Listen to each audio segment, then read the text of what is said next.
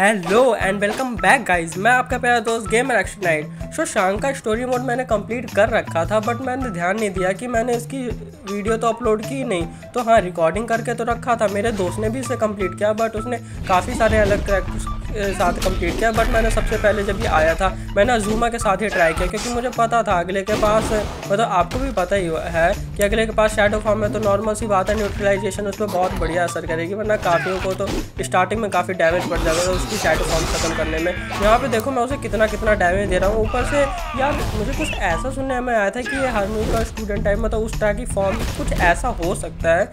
मतलब तभी तो उसके पास ये वाली एबिलिटी इसमें दी हुई है। बाकी मैंने ये एक्सपेक्ट नहीं किया था बिल्कुल भी कि ये जो शेडो फाइट वाले हैं, ये इसको इतना ज़्यादा इजी बनाएँगे भाई। मतलब ये बाकी जो स्टोरी मोड्स थे, उनसे, उन सबसे काफ़ी ज़्यादा इजी था। मैंने ये बिल्कुल भी एक्सपेक्ट नहीं किया था। हाँ बट ये इसके ग्राफिक्स इन्होंने और ऊपर मतलब कि पीछे से काफ़ी चीज़ें इन्होंने बैटरी की बट इतना ज़्यादा ईजी नहीं होना चाहिए था यार। मतलब अजूमा के लिए तो ये बेबी की तरह है।